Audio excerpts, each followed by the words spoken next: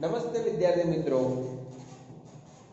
Basic concept of mathematics useful in science stream ભાગ number 12 મિત્રો, આગળના ભાગમાં આપણે જે અભ્યાસ કર્યો છે, એની અંદર ત્રિકોણમિતિય વિધેયો ની જુદા જુદા ચરણમાં કિંમતો કેવી હોય, બરાબર?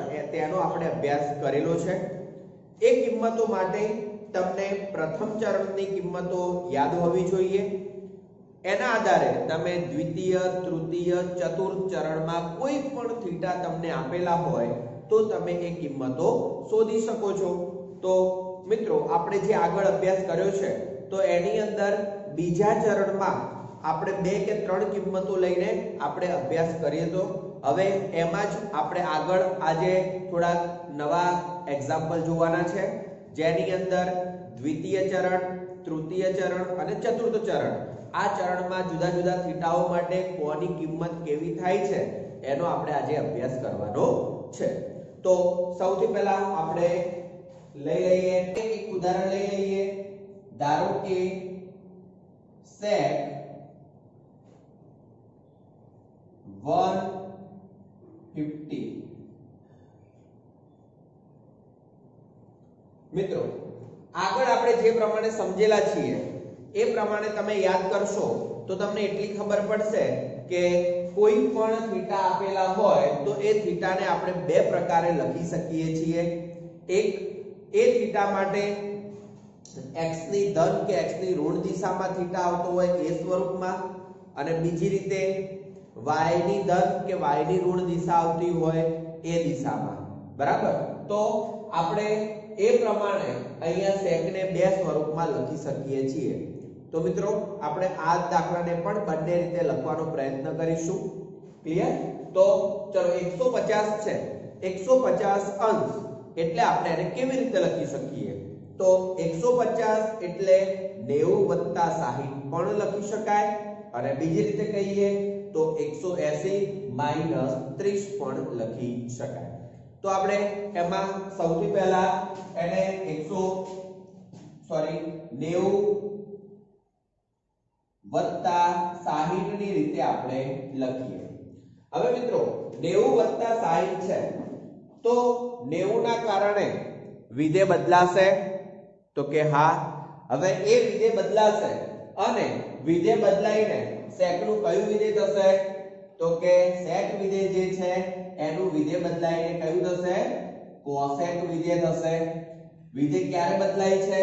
તો કે જ્યારે 90 ના ગુણક તરીકે અયુગ્મ સંખ્યા હશે, ત્યારે હંમેશા વિધેય બદલાશે.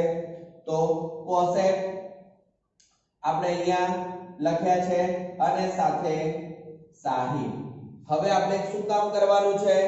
વિધેય બદલાય છે કે નથી બદલાતું એ ચેક કર્યું, એના પછી ચરણ ચેક કરવાનું અને ચરણને આધારે ચિહ્ન, ધન આવશે કે ઋણ આવશે તે ચેક કરવાનું છે. તો હવે 90 60 એનો મતલબ કે કયું ચરણ આવી શકે? તો અહીંયા એક ટેમ્પરરી નાની આપણે આકૃતિ દોરી દઈએ છીએ. તો એ આ છે 90 નો ખૂણો. બરાબર? અને 90 માં તમે 60 ઉમેરશો, તો એ થઈ જશે બીજા ચરણમાં. તો આનો મતલબ કે બીજા ચરણમાં સેક પોતે કેવા છે? એ પણ તમને વાત કરેલી છે કે હંમેશા કયું વિધેય ચેક કરવાનું થશે?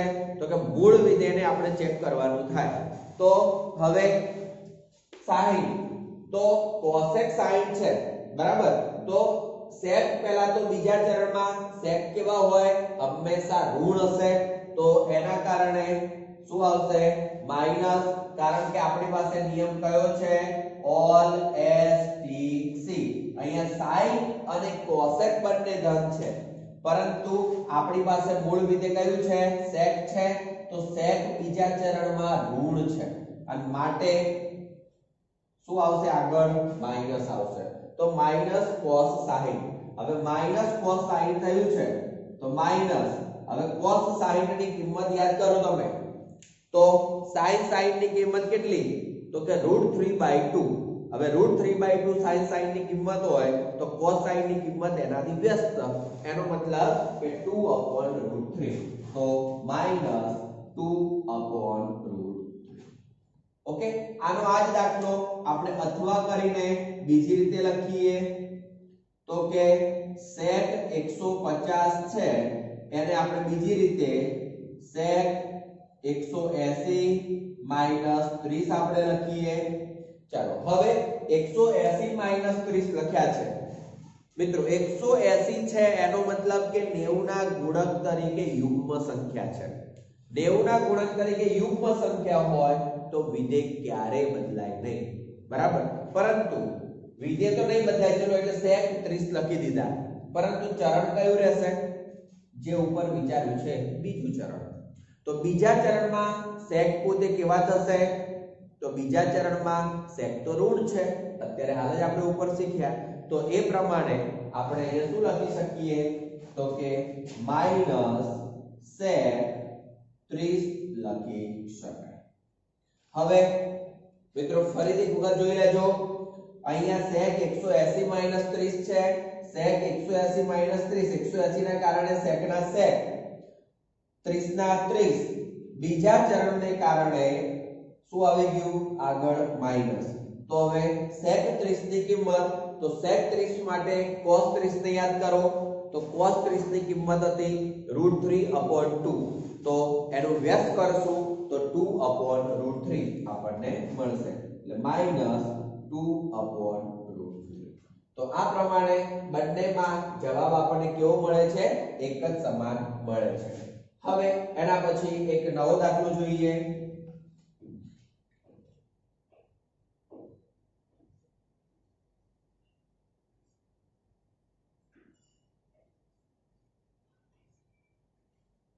ચલો tan 135 હવે tan 135 છે, તો આપણે હવે કોઈ એક જ રીતે હું લખીશ. બંને રીતે આ રીતે જે અથવામાં ઉપયોગ કર્યો છે, એવી રીતે આપણે ઉપયોગ કરીશું નહીં.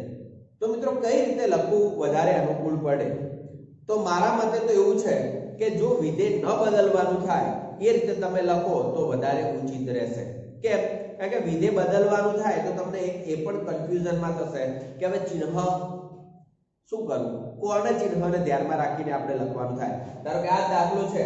અહીંયા સેક વિધે હતું, અહીંયા કોસેક હતું. તો જો તમે ભૂલી ગયા હોય, તો હવે એવું થાય કે તમારે સેકનું ચિહ્ન જોવાનું કે કોસેકનું ચિહ્ન જોવાનું? આમ તો તમને કહેલું છે કે હંમેશા જે મૂળ વિધે છે, એનું તમારે ચિહ્ન જોવું પડે. પરંતુ જ્યારે વિધે જ બદલાતું નથી, ત્યારે મૂળ વિધેય હોય સેક વિધેય હોય. પેલામાં પણ સેક વિધેય હોય, તો મતલબ એક જ sec નું જ ચિહ્ન જોવાનું આવે. બીજું કોઈ જ કન્ફ્યુઝન મગજમાં થાય નહીં. ઓકે તો હંમેશા આપણે વિધેય ન બદલાય એવી રીતે આને ગણવાનો પ્રયત્ન કરીએ. તો 135 છે. 135 એટલે 180 માઇનસ 45 તો એ પ્રમાણે આપણે જોઈએ તો ઇક્વલ ટુ 10 180 માઇનસ 45 બરાબર 10 45 મિત્રો, ચરણ કયું છે? તો કે બીજું ચરણ છે. બીજા ચરણમાં ટેન પોતે કેવા હોય? ઋણ હશે. તો એના કારણે આગળ શું આવશે? માઇનસ અને માઇનસ 10 45 એના કારણે એનો જવાબ કેટલો આવશે? માઇનસ 1 આવશે. તો આ જે આપણે દાખલા જોયા, એ દાખલા કયા ચરણમાં હતા? તો કે એ દાખલા જે છે તે બીજા ચરણની અંદર જુદા જુદા થીટાઓ માટેના આપણે દાખલા જોયા છે. ઓકે? હવે આપણે એના પછી તૃતીય ચરણમાં જુદા જુદા થીટાનો અભ્યાસ કરીને દાખલાને જોઈએ. તો તૃતીય ચરણ. હવે તૃતીય ચરણમાં એનો મતલબ કે સામાન્ય રીતે તમને એટલી ખબર પડવી જોઈએ કે 180 અંશ કરતા મોટો ખૂણો હોય અને 270 કરતા નાનો ખૂણો હોય. બરાબર છે? તો એ હંમેશા શું થશે તો એ તૃતીય ચરણમાં આવશે. પરંતુ સાથે સાથે તમને એક વાત એ પણ કહી દઉં કે જે ખૂણાઓ છે, તો આપણે આ તો વચ્ચેની બધી વાત કરી. 90 0 સુધી તો તમને ખબર છે કે ખૂણાઓના માપ કયા હોય. પણ આ 180 અંશે ખૂણાઓના માપ કેવા હોય એ તમને ખબર છે? તો કે ના. પછી 270 એ માપ કેવા હોય તો એ પણ નથી ખબર. અને 360 તો 360 અને 0 અંશ બંને એક જ સમાન ખૂણાઓ છે. તો એનો મતલબ 0 અંશના જેવા માપ છે, જેવા મૂલ્યો છે, એવા જ 360 માટેના મૂલ્યો થાય. ક્લિયર તો આપણે હવે 180 માટેનો એક અભ્યાસ કરી લઈએ અને 180 ના અભ્યાસ પછી આપણે તૃતીય ચરણના ખૂણાઓનો અભ્યાસ કરીશું. તો તમારી પાસે આ એકમ વર્તુળ છે યાદ કરજો જે આપણે આગળ શીખેલા છીએ, એ એકમ વર્તુળમાં આ જે છે, એ બિંદુ 1 0 થાય, આ બિંદુ જે છે, એ 0 1 થાય, આ બિંદુ જે છે, એ -1 0 થશે, અને આ બિંદુ જે છે, તે 0 1 કહેવાય. હવે જે અહીંયા x યામ અને y અક્ષ સ્વરૂપે જે પણ બિંદુઓ લખ્યા છે એ x અને y યામ વાળા બિંદુઓમાં x યામ એ હંમેશા cos નું મૂલ્ય કહેવાશે અને y યામ એ હંમેશા sin નું મૂલ્ય કહેવાય. ફરીથી x યામ એ કોનું મૂલ્ય? x યામ બરાબર cos θ નું મૂલ્ય. અને y યામ બરાબર sin θ નું મૂલ્ય મિત્રો, આને પણ તમારે યાદ રાખવા માટે લખવું હોય તો લખી શકો છો. કારણ તમને એક બીજી વસ્તુ પણ આમાં યાદ કરાવી દઉં કે ધારો કે આ જગ્યાએ આપણે કોઈ એક કિરણ વિચારીએ છીએ. સમજો ખાલી. એ કિરણમાં આ ખૂણો થીટા છે. બરાબર? તો આ જે, અને સાથે સાથે આપણું જે વર્તુળ છે એ એકમ વર્તુળ છે. હવે હું એમ કહું કે એકમ વર્તુળની જગ્યાએ ધારો કે r ત્રિજ્યા હોય, કેટલી ત્રિજ્યા હોય? R. તો r ત્રિજ્યા હોય સમજો આ ખાલી ટેમ્પરરી તમને સમજાઈ રહ્યો છું. R ત્રિજ્યા હોય, તો આ જે બિંદુ છે, એ બિંદુને આપણે p થીટા તરીકે ઓળખી શકીએ. શાના તરીકે ઓળખી શકીએ? P થીટા હવે p થીટા હોય, તો એ p થીટા ના યામ કયા થઈ શકે? તો એ p થીટા ના યામ થશે r cos થીટા અને r sin થીટા મિત્રો, ત્રિજ્યા r છે, તો r cos થીટા અને r sin થીટા થાય. પરંતુ ત્રિજ્યા એકમ હોય, તો r જગ્યાએ આપણે 1 મૂકીશું. એટલે કે cos થીટા અને sin થીટા મતલબ x ની જગ્યાએ cos થીટા અને y ની જગ્યાએ sin થીટા આપણે અત્યારે એવું અહીંયા વિચારીએ છીએ કે આપણી પાસે એકમ વર્તુળ છે. એટલા માટે મેં x એમ તરીકે cos થીટા લખ્યા છે અને y એમ તરીકે sin થીટા લખ્યા છે. બાકી ત્રિજ્યા r હોય તો p થીટા બરાબર r cos theta r sin theta સ્વરૂપ કહેવાય. ક્લિયર તો હવે આપણી માટે 180 નો ખૂણો આ જગ્યાએ બને આ દિશામાં. બરાબર?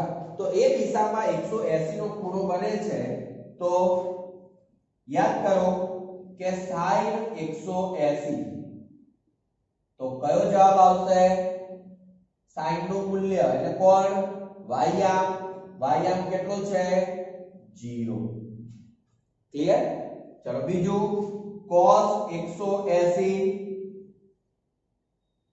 તો cos 180 નું મૂલ્ય કેટલું? -1 હવે sin અને cos બંનેના મૂલ્યો તમને ખબર પડે તો એના આધારે તમે tan નું મૂલ્ય, પછી cosec છે, sec છે, કે એ બધાના મૂલ્યો તમે આપોઆપ વિચારી શકો છો. તો ચલો હવે tan નું લખવું હોય તો આને આધારે આપણે ફટાફટ લખી દઈએ. તો કે tan 180 હવે tan 180 એટલે sin અને cos બંનેનો ભાગાકાર. તો sin અને cos નો ભાગાકાર 0 ભાગ્યા -1 એટલે શું થશે? 0 ચલો હવે sin નું વ્યસ્ત cosec લખવું છે. તો કે cosec 180 એટલે અવ્યાખ્યાયિત મેં અહીંયા ડેશ કરી દીધું છે.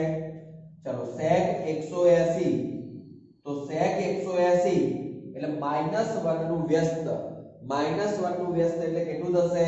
તો કે માઇનસ વન થશે. ચાલો, એવી રીતે tan નું વ્યસ્ત, તો કે cot 180 હવે cot 180 એનો મતલબ કે 0 નું વ્યસ્ત, તો 0 નું વ્યસ્ત હોય, તો એ પણ કેવું? હંમેશા અવ્યાખ્યાયિત. બરાબર છે? તો 180 અંશનો જ્યારે ખૂણો હશે ત્યારે છ ત્રિકોણમિતિય વિધેયોમાંથી બેના મૂલ્યો હંમેશા કેવા મળશે? તો કે અવ્યાખ્યાયિત કોના કોના? એક કોસેકનું મૂલ્ય અને એક કોટનું મૂલ્ય. તો આ રીતે આપણે 180 નો વિચાર કરી શકીએ છીએ. હવે આપણે, ચલો આ બધા સૂત્રોને આપણે ખાલી નવ નંબર જ આપીએ છીએ. આમ તો 9 10 11 12 13 14 જે કહેવું હોય તે કહી શકાય છે. પણ યાદ રાખજો તમે. હવે આપણે 10 નંબરનો વિચાર કરીએ. તો એક્ઝામ્પલ 10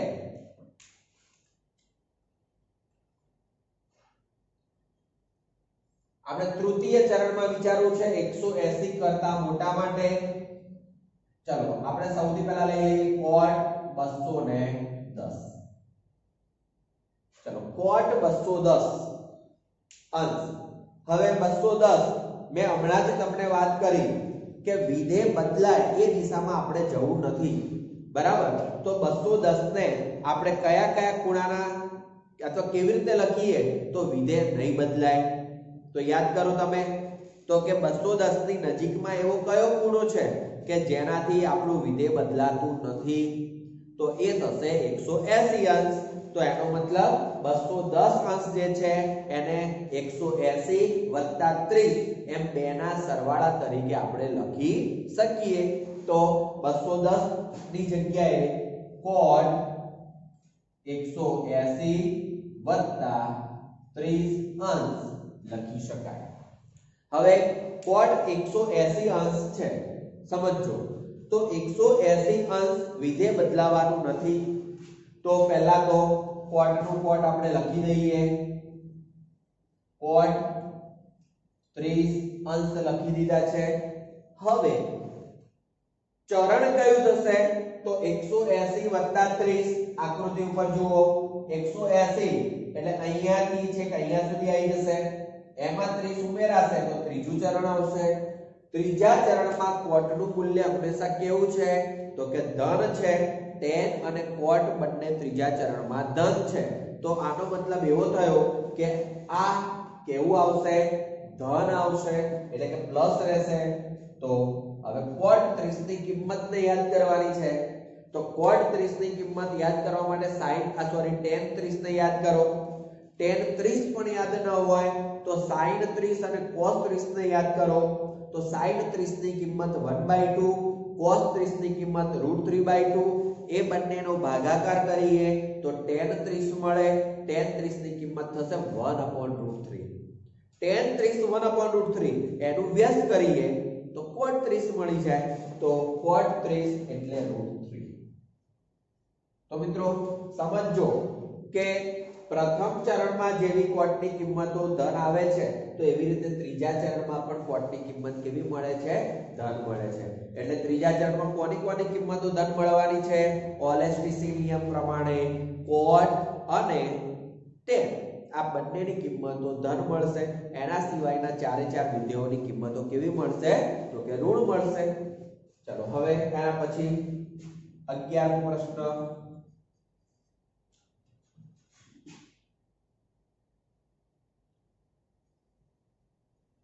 cosec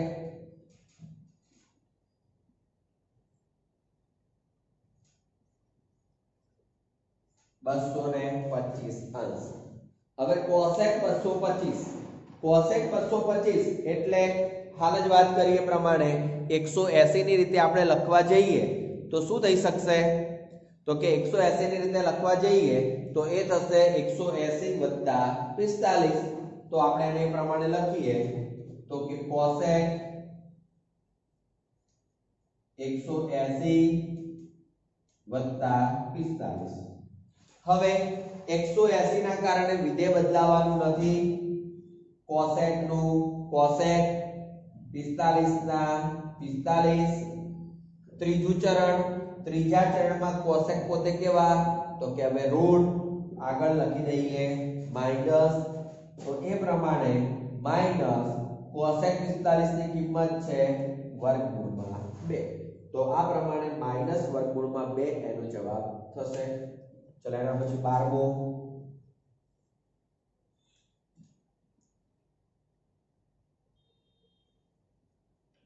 cos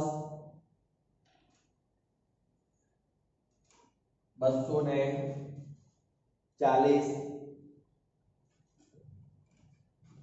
ચલો હવે બસો ચાલીસ એટલે એકસો એસી વત્તા સાહીઠ આપણે લખી શકીએ બરાબર તો ઇક્વલ ટુ એકસો એસી વત્તા સાહીઠ. હવે એકસો એસી વત્તા સાહીઠ થયા.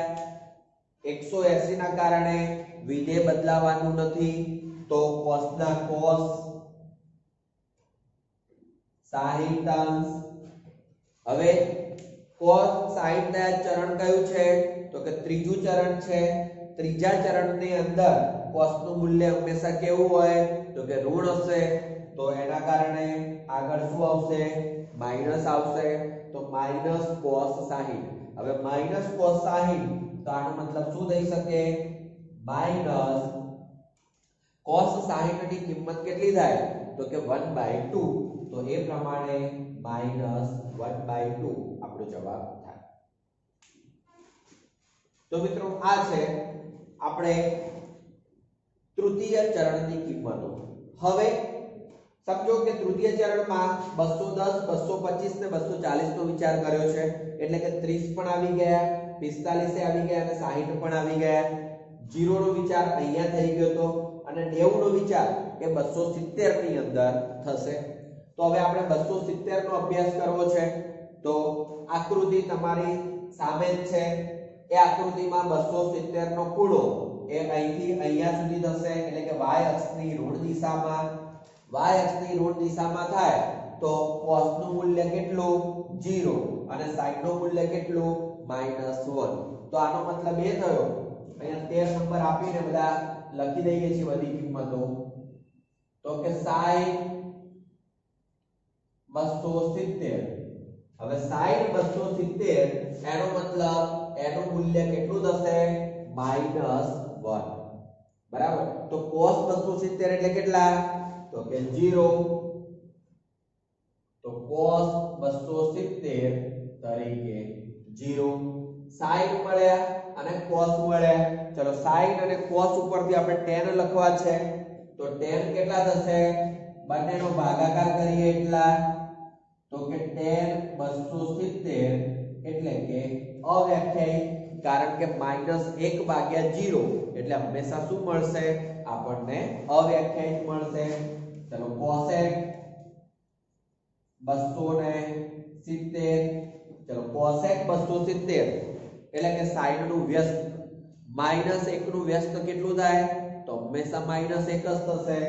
તો કે માઇનસ એક. સેક બસો સિત્તેર.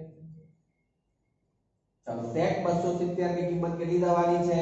તો કે cos નું વ્યસ્ત 0 નું વ્યસ્ત એટલે કેવું થશે? અવ્યાખ્યાયિત થશે. અને એવી રીતે cot 270 ચાલો cot 270 એટલે કેટલા? તો કે tan નું વ્યસ્ત કરી દો. tan પોતે અવ્યાખ્યાયિત હતા સમજો tan પોતે અવ્યાખ્યાયિત હતા તો અવ્યાખ્યાયિતનું વ્યસ્ત. તો અવ્યાખ્યાયિતનું વ્યસ્ત તો મેં તમને આગળ પણ વાત કરેલી છે કે 5 ભાગ્યા 0 હોય તોય અવ્યાખ્યાયિત કહેવાય 1 ભાગ્યા 0 હોય તો પણ અવ્યાખ્યાયિત કહેવાય. બરાબર છે? એટલે ટૂંકમાં 5 ભાગ્યા 0 હોય કે 1 ભાગ્યા 0 હોય, એનું તમે વ્યસ્ત કરો છો તો 0 અંશમાં આવશે. છેદમાં ભલે ને ગમે તે સંખ્યા હોય, એનાથી આપણને કોઈ ફરક પડતો નથી. એનો જવાબ હંમેશા કેવો થશે? 0 જ થશે. તો કે tan વ્યસ્ત.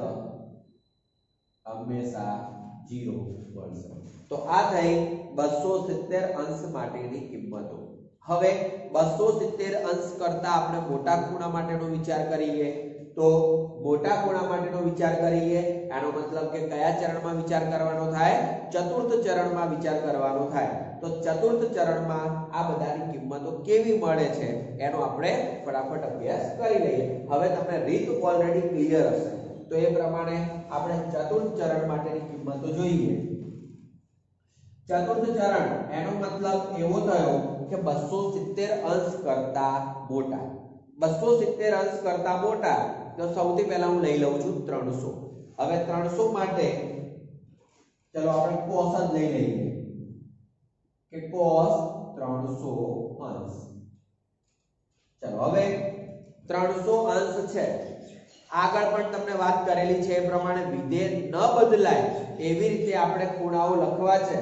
તો ત્રણસો છે, તો એને કઈ બસો સિત્તેર વત્તા ત્રીસ સ્વરૂપ લખાય નહીં. બસો સિત્તેર વત્તા ત્રીસ લખો છો તો વિધેય બદલાય એવી રીતે તમારે કામ કરવું પડે.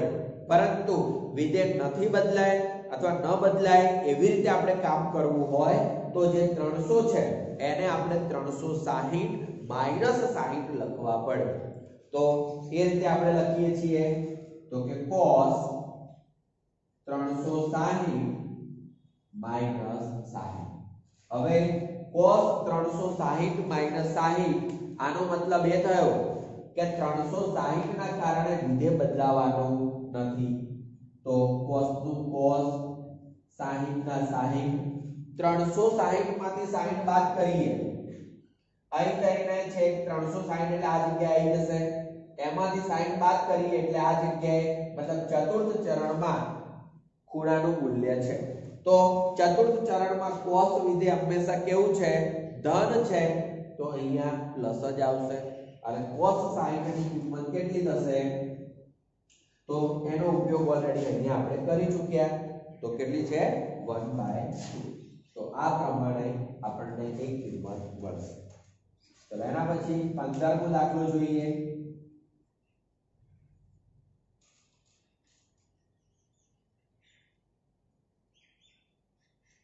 ટેન ત્રણસો ને પંદર અંશ હવે ત્રણસો પંદર અંશ. એનો મતલબ એવો થયો કે ટેન એક સોરી ત્રણસો સાહીઠ માઇનસ પિસ્તાલીસ. ત્રણસો સાહીઠ માઇનસ પિસ્તાલીસ. એનો મતલબ કે ટેન પિસ્તાલીસ પણ માઇનસ કેમ? કારણ કે 360 માઇનસ 45 360 ના કારણે આપણું વિધેય બદલાતું નથી. એટલે tan 45 ચતુર્થ ચરણ છે. ચતુર્થ ચરણમાં tan નું મૂલ્ય ઋણ હોય, એના કારણે માઇનસ tan 45 આપણે લખ્યા. હવે tan 45 નું મૂલ્ય કેવું છે? માઇનસ 1 છે. તો આપણે આ પ્રમાણે લખી શકીએ. તો મિત્રો, આ એક થયો 15મો દાખલો. હવે બીજા થોડા દાખલા હું તમને આપું છું. એ દાખલા તમે ઘરે જાતે પ્રેક્ટિસ કરવાની રહેશે. તો એની રકમો તમે એ પ્રમાણે નોંધી રાખજો. સાથે સાથે જે પણ દાખલાઓ અહીંયા થયા છે, એને પણ તમે નોંધીને રાખશો તો તમને ભવિષ્યમાં એ બધા જ ઉપયોગી થશે. કારણ કે કિંમત કોઈ પણની કોઈ પણ રીતે શોધાય તો એ આપણને ખબર હોવી જોઈએ. તો 16મો દાખલો.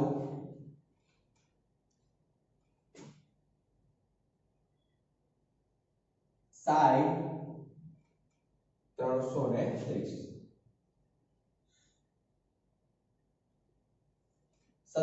દાખલો કોટ માઇનસ બસો પચીસ અંશ મિત્રો અહીંયા માઇનસ માટે પણ હવે મોટા ખૂણાઓનો હું તમને આપું છું દાખલા. ફક્ત કામ કેટલું કરવાનું છે?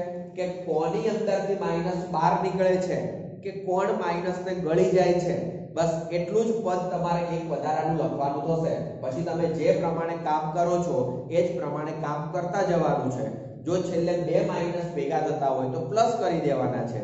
અને એક જ માઇનસ આવતું હોય તો એ માઇનસ ને આગળ લખવાનું છે. ઓકે તો એ રીતે આપણે વિચાર કરવાનો થાય.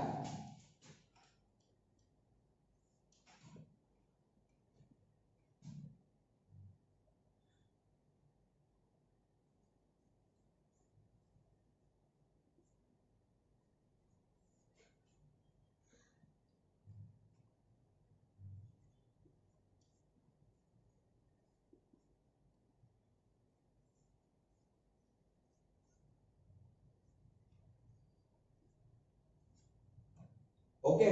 તો આ વિડીયોમાં આપણે પાંચ દાખલા તમને હોમવર્ક તરીકે આપીએ છીએ. મિત્રો, એને ગણવાનો પ્રયત્ન કરો અને ન સમજાય તો એને તમે આપણી ચેનલ પર આ વિડીયોમાં કોમેન્ટ કરીને લખી શકો છો. ઓકે? તો મિત્રો, વિડીયોમાં તમને જે પણ સમજાવેલું છે કે ત્રિકોણમિતીય વિધેયો માટે જુદા જુદા એટલે કે ચારે ચરણમાં રહેલા ખૂણાઓ માટે કેવા મૂલ્યો મળે છે તો એનો આપણે અહીંયા અભ્યાસ કર્યો છે. મિત્રો, અહીંયા જે પણ ખૂણાઓ લીધા છે, એ બધા જ અંશ માપમાં આપણે લીધા છે. હવે પછીના નેક્સ્ટ વિડિયોની અંદર આ બધા જ ખૂણાઓનો આપણે રેડિયન માપમાં અભ્યાસ કરવાનો છે, એટલે કે પાઈ સ્વરૂપના માપમાં અભ્યાસ કરવાનો છે. જરૂરિયાત પ્રમાણે એ પાઈ સ્વરૂપ આ વસ્તુ તમે સમજેલા હશો, તો પાઈને પણ તમે સરળતાથી સમજી શકશો. પરંતુ એનો અભ્યાસ કરવો એટલો જ આવશ્યક છે, કારણ કે જેમ જેમ આપણે આગળ જઈશું અભ્યાસ માટે, તેમ તેમ અંશ માપ કરતા રેડિયન માપનો અભ્યાસ વધુ આવે છે. પરંતુ સૌથી પહેલા તમે અંશ માપ શીખવાડવાનું કારણ એ છે કે ખરેખર આ બધી વસ્તુ ખૂબ જ સરળ છે, એવું તમારા મગજમાં ફીડ થાય. બરાબર? અને એના આધારે તમે રેડિયનનો એકદમ સરળતાથી અભ્યાસ કરી શકશો અને શીખી શકશો. તો મિત્રો, આ વિડીયોમાં તમને ખૂબ જ મજા આવી હશે અને ખૂબ જ સમજાવ્યું હશે. થેન્ક યુ જય હિન્દ.